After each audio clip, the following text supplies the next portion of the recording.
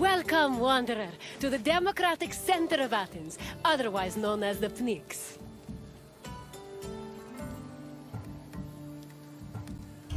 My name is Aspasia. Though I am not originally from Athens, I have climbed to the top of its social ladder using my wit and intellect. I've even earned the love of Pericles, one of the most powerful men in the city. The mind truly is a beautiful thing. The battles fought here may be more intellectual than bloody, but they are no less spectacular. These outcomes will affect an entire city in a different way.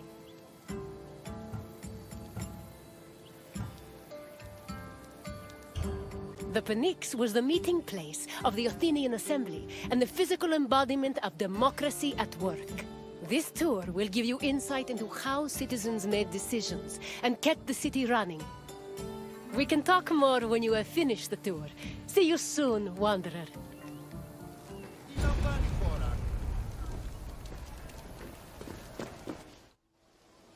The Athenian Assembly was known as the Ecclesia. It met at the Pnyx 40 times a year to discuss various civic matters, and each session usually lasted a few hours. The word Pnyx is believed to mean something close to packed together. This was probably a reference to the fact that during meetings of the Ecclesia, the location would be filled to its capacity, with citizens packed in practically shoulder to shoulder. All male citizens were allowed to directly participate in the democratic process. Those over 20 years old had the right to speak and vote, while those over 30 could be elected to the higher position of magistrate. In total, there were approximately 30,000 citizens in Athens in the classical period. To draft and adopt decrees, 6,000 of them had to attend the meeting.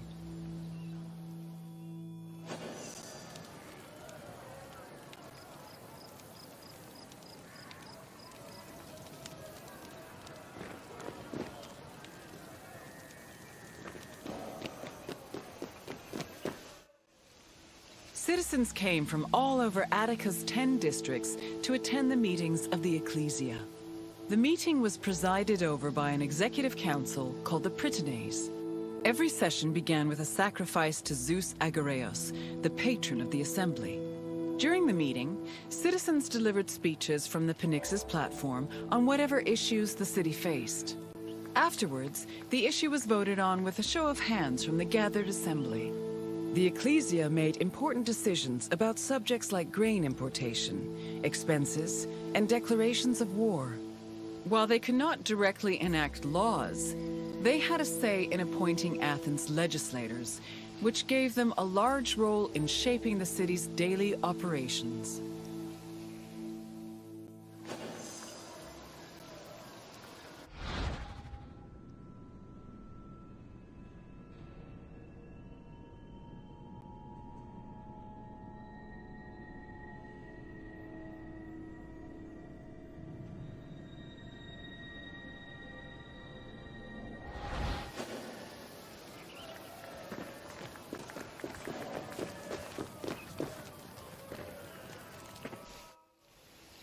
While some citizens only participated in the sessions of the Ecclesia, others could become more involved in democracy as magistrates.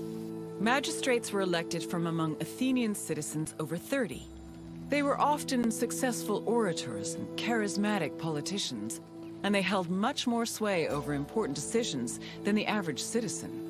One of the most famous magistrates was Pericles, who was so popular he held his position for 15 years.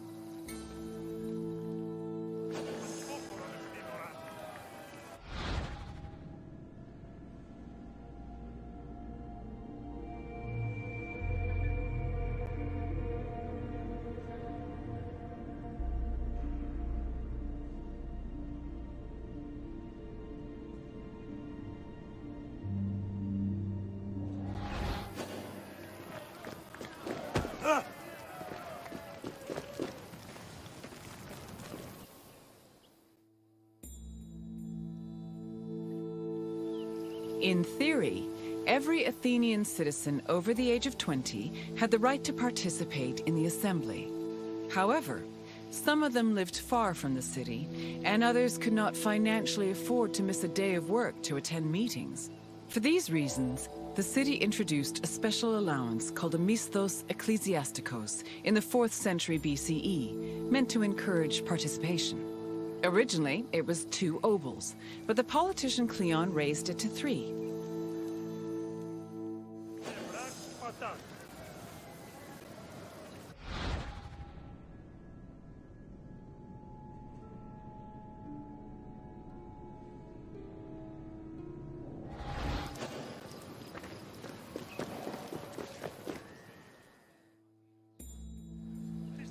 Athens introduced several innovations that heavily influenced modern society, including theater, architecture, and philosophy. However, their greatest contribution was their democratic government, which introduced the concept of a city ruled by its citizens. The decision to adopt democracy as a government, a choice made in 508 BCE, shaped civilization as we know it, and continues to affect us today.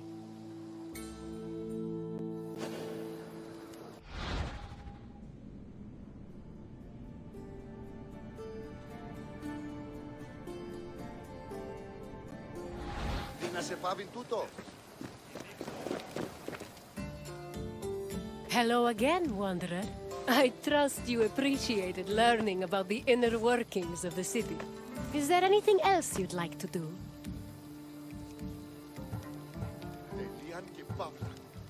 Then let's start with a simple question. Approximately how many citizens were in Athens in my time?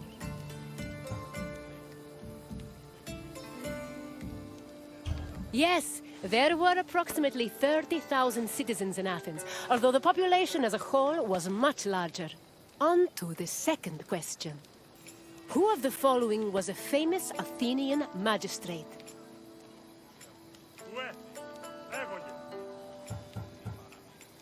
Yes, Pericles was an extremely popular magistrate who managed to keep his position for 15 years.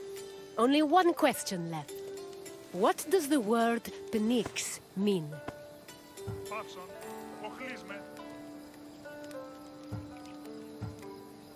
Correct. The Pnyx was usually crowded with citizens attending meetings of the Ecclesia. You know enough about democracy to be a politician yourself. Well done, Wanderer.